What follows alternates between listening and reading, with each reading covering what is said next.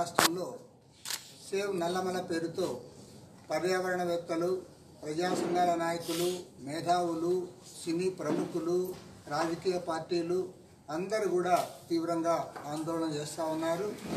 ఇటీవలనే తెలంగాణ అసెంబ్లీలో కూడా ఏకగ్రీవంగా వారు తీర్మానం చేసి ఆ తీర్మానం ప్రకారం ఇరవై ఎనిమిది తవ్వకాలను ఆపాలని చెప్పి కేంద్ర ప్రభుత్వం పైన ఒత్తిడి తేవడానికి వారు నిర్ణయించారు.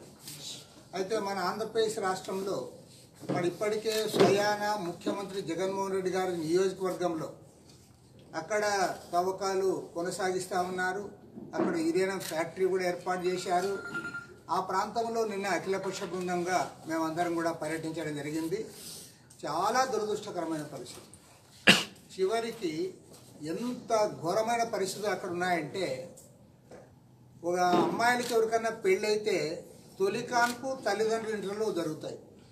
కానీ అక్కడ తొలి కాన్పుకి వాళ్ళ అమ్మాయిల్ని వాళ్ళు పిలుచుకోవడంలే ఎందుకంటే ఇక్కడ పుడితే ఆ పిల్లవాడు అసలు పుడతాడో లేదో లేదా పుట్టిన తర్వాత అంగవైకల్యంతో ఏమైనా పుడతాడేమో ఒక భయంకరమైన పరిస్థితులు ఏర్పడి వాళ్ళు తొలి కాన్పు కూడా అక్కడ చేయడం. మాకు చాలామంది మహిళలు కలిశారు వారు కూడా గర్భస్రావం జరిగిందని కూడా చెప్పడం.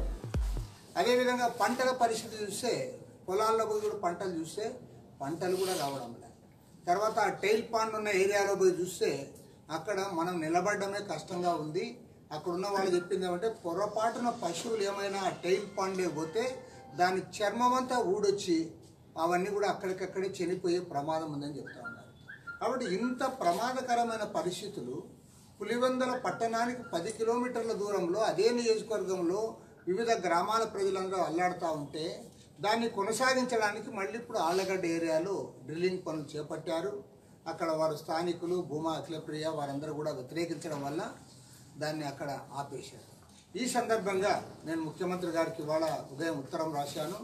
ముఖ్యమంత్రి గారు స్వయంగా వెళ్ళి పులివెందుల నియోజకవర్గంలో తన సొంత నియోజకవర్గంలో ఏ గ్రామాల్లో అయితే యురేనియం బాధితులు ఉన్నారో వారితో రచ్చబండ కార్యక్రమాన్ని నిర్వహించాలి.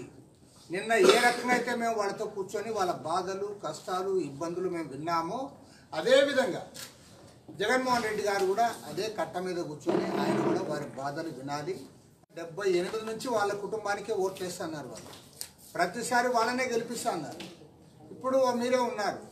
మరి మిమ్మల్ని ఇన్నిసార్లు గెలిపించినందులకు మరి వారికి ఇచ్చే బహుమతి ఇదేనని నేను అడుగుతాను కాబట్టి ఖచ్చితంగా వారి బాధలు వినాలని చెప్పి నేను ముఖ్యమంత్రి గారికి ఉత్తరం రాశాను. ఈరోజు ఉదయం.